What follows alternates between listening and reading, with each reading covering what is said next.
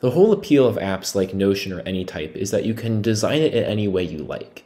But this can also be very overwhelming. There's so many videos online of templates and layouts that people design for their applications, and sometimes it's just nicer to sit down and work. Luckily, Anytype has you covered because the way it utilizes templates is such that it's very simple to just get up and go if you need to put information in your app and you don't want to worry about figuring out where to format it. So that's what we're going to be looking at today. There's a couple main features of templates that make Anytype really unique. So first and foremost, let's make some templates. I'm going to go to library. I'm going to make a new type. They have an, a type for movie, but I'm just going to make my own because I'd much rather do that.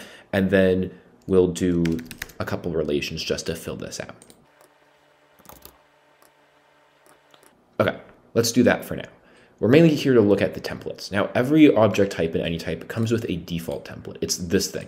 I can't even open it to show it to you because it is quite literally nothing. If I created a new movie, let's call this Dune, it, this is the template it comes with and it's blank. There's nothing here aside from this, which shows us what object type it is. So that's that. But let's assume that we want to actually lay this out on our own. We'll just click the plus button here, and then we can fill this out. Now, one thing to keep in mind is that you don't want to put a title here because obviously this is a template. So if you put a title here, every time you use this template, it will utilize that title.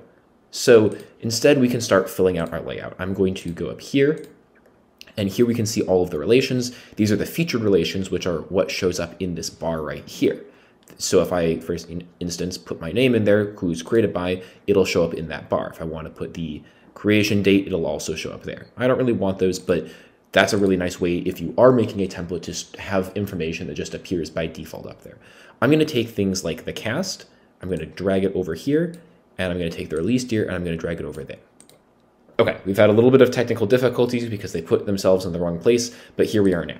Now we have both of our relations that are going to be open here. And then maybe if I want to have a call out, and this will be my summary of the movie, I'll put this on the side here. So this is functional. Obviously, you know, this isn't the perfect template, but it's a good example of what a template might look like. So we'll close out of this. Now, if we create a new object,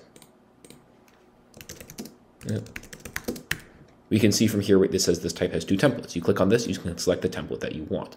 And then here, obviously, it'll load in all of the template information. If we put in the release year, that'd be 2024. Uh, it took me a second to figure that out. For some reason, this number is formatting poorly, but that's the idea. You can fill out your template as you see fit. Now, let's say you want to set that template to make it the default template that you always open your notes with. That's pretty simple. You just go up here, you click on these three dots, and you say set as default. Now, whenever we make a new movie, it's going to show up with this. Okay, so that's pretty straightforward. And obviously you can create more and more templates that are however you want them. And you know, you can you can view all of them from here. Obviously, all of these templates you can also set as default if you want. But let's say you're working on a movie database and all you really care about in this movie database is the movie and then your thoughts on it. So you make a new template. We'll call it, put here, uh, movie thoughts. Okay, so here's your template, and let's assume you're going to fill this out with your thoughts when you have the movie. So you go and you make a new page, and you call this movie database. And in here, we'll put an inline set of movies, and we'll have to make a new set because it doesn't exist yet. There we go. So now it's showing all of our movies. But let's assume you want every object in this set to use a specific template. If that's the case, you can simply go up here, click on this little drop down, find the template that you want. Unfortunately, it doesn't show the text, but it kind of shows a rough outline of what it looks like. Click the three dots and then hit default for this view. Now, every time we make a new object, it's going to use that default template, even though if we make an object not through this set, like, you know, we made this object by hitting the new button up here. If we make a new movie from here, it's going to use this template. So this simply allows us to choose specific templates for specific sets. All right, final little tip, because I found this really helpful. In the library, in one of these objects, when you click on it, it shows your recommended layout. Now, the recommended layouts are kind of weird. If I, for instance, make a new page, it's got the title, it's got stuff, and it's got an icon. It'll be the monkey. So this is your default layout. And you can click on this right here and it'll show you the layout types. Basic puts the title there. Profile gives you a profile image instead. Action makes it a checkbox. And note puts the title down here. I don't know why anyone would want to use this. I'm not quite sure. But for some reason, the note layout puts your title as the first line of text. So by default, the page object uses this layout, the basic layout that puts the title up in the title bar.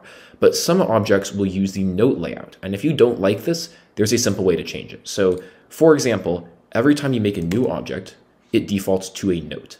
And this layout is the note layout, which means that the title of this note is this thing. Now, this doesn't seem like a huge deal. You know, you can just put stuff down here. The frustrating thing, though, is that if you want to just make a new note, it's going to start putting all of the contents into the title. Now, I'm not quite sure why Anytype is built like this, but I find it highly frustrating because I want to make notes, throw a basic title in there, and then start filling it out. I don't want to have to worry about, you know, everything I put in here being added slowly to this title because that is kind of silly. And eventually, you know, if I make an actual note here, this title is going to be massive. So the way to fix this is you go to the library, you go to the object type of note, you choose a template. Don't change any of this. Don't start putting things in here. Just go to the layout and hit basic. Now you go back here, set this as the default. Now every time we make a note, it's going to use the basic layout, which means you can actually put a title in here and then start putting your stuff in here, and it's not going to start putting the content of your note into the title. So you see the difference is this note is using the note layout, so everything is considered the title and there's no big heading. This note, same object type, but it's using a different layout, so this is the heading and this is the content, and you don't get this absurd problem. So that's about it. That's most of what templates can do in Anytype. I hope you can see they've got a lot of specific functionalities that help you curate them to your needs, especially using them in your databases as your default for that database. Hopefully this helps you better utilize databases, better utilize objects, and in general, just utilize Anytype as a whole. Let me know if there's anything you'd like to see from me next, any other tutorials you want me to do, and I will see you guys around.